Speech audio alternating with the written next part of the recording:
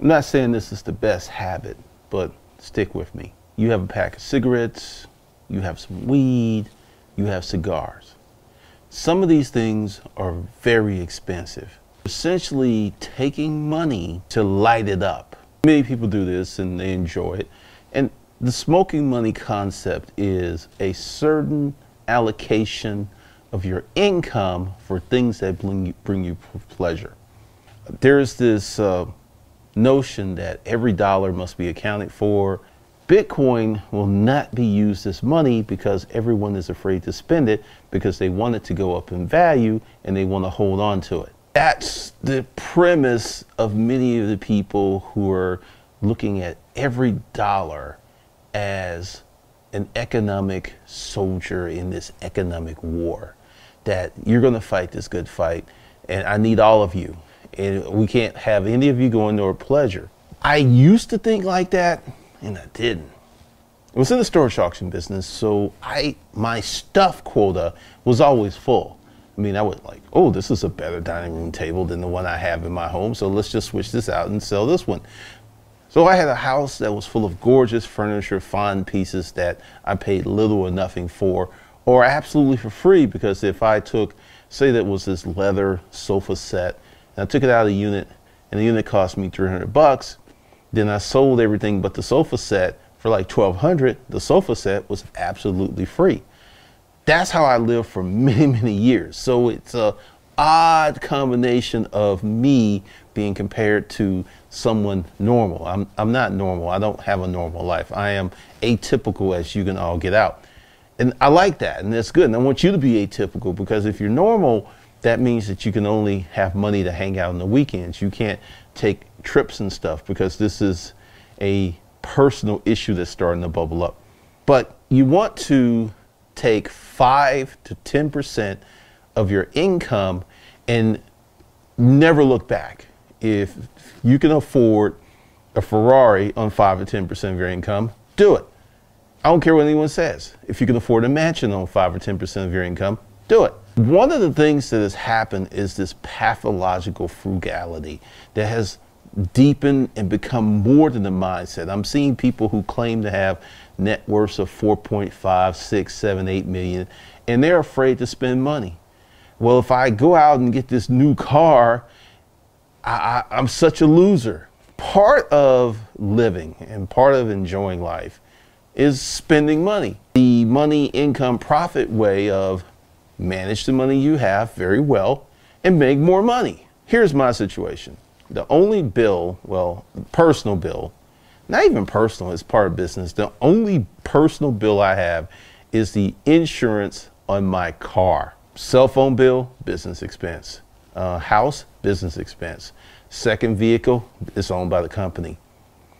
And I, I live very nicely. And I want you to live very nicely. And this super frugality has a point. Let's say you are broke dick Danny married to penniless Priscilla.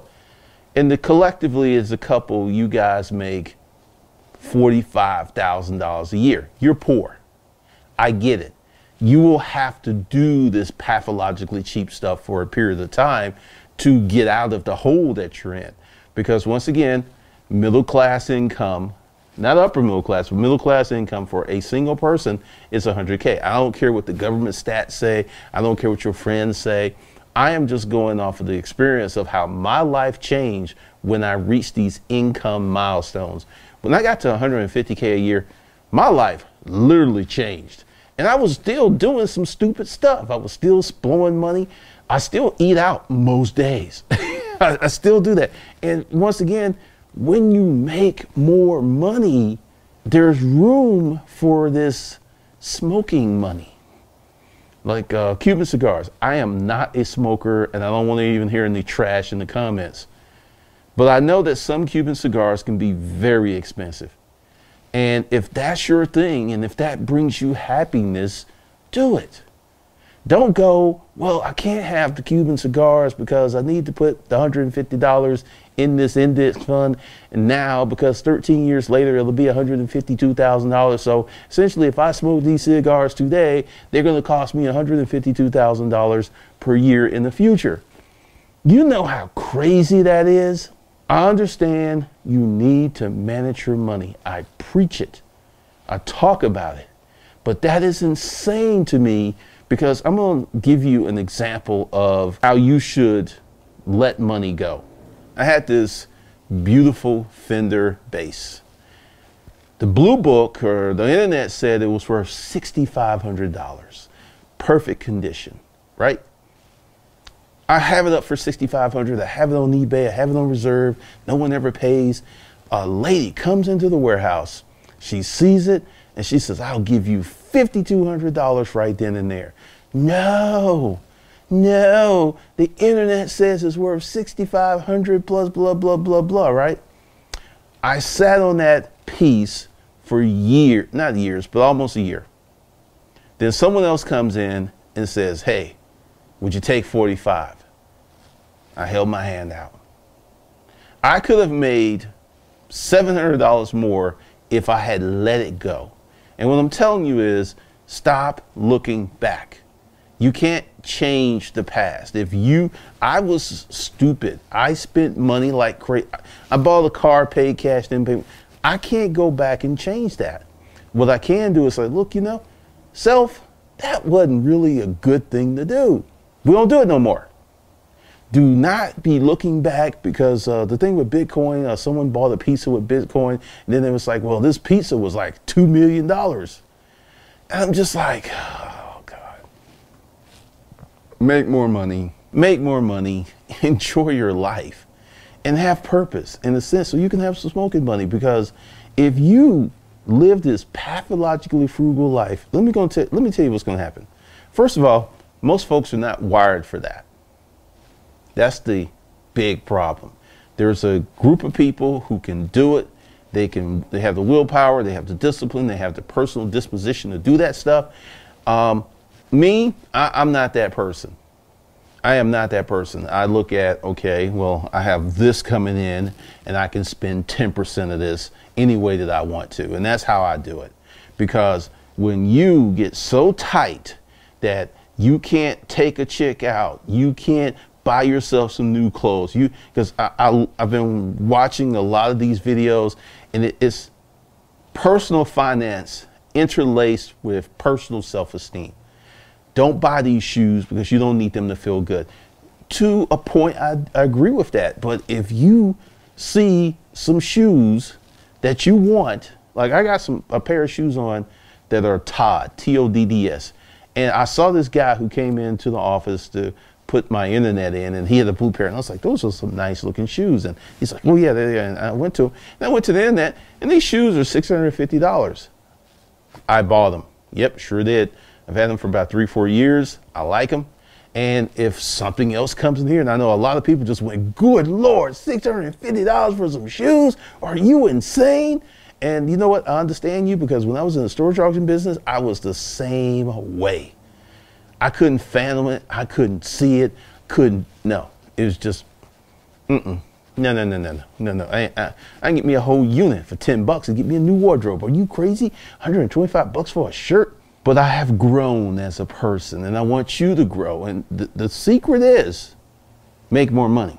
Uh, many people try to shoehorn their life into their income and try to expand it. This is why credit, drunk on credit, has become such a huge issue because people don't have the money to live like they want to.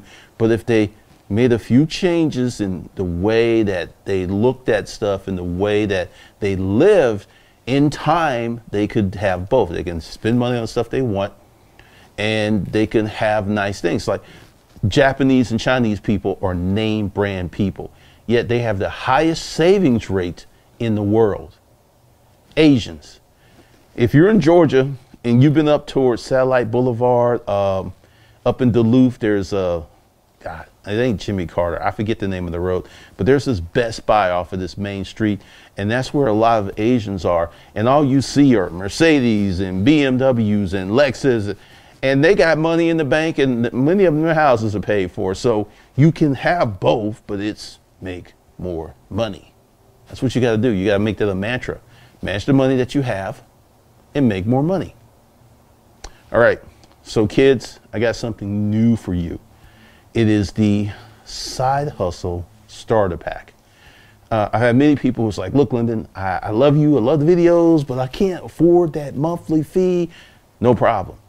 It's $147 and it's 23 courses and it's a few hundred hours, almost a little bit over 100 hours of training across various disciplines. Craigslist, a YouTube starter kit.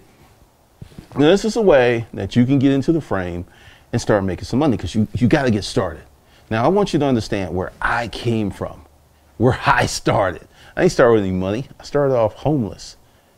That's where I started. So if I can do that with hard work and st- strategy, because this is what I'm giving you. I'm not giving you um, a get rich quick scheme. I'm giving you strategy where you can make an extra 300 bucks a month. And for many people, that's the difference between eating and not eating. You can make an extra thousand, you can make an extra 1500. And the thing is that this doesn't just stop with getting the course. You stay on the path, you figure out what works for you, year after year after year after year, you make money if you don't stop. So go below, it's first link. There's some other stuff for those of you who are ready to get into something a little grander. And I'll see you guys in the next video.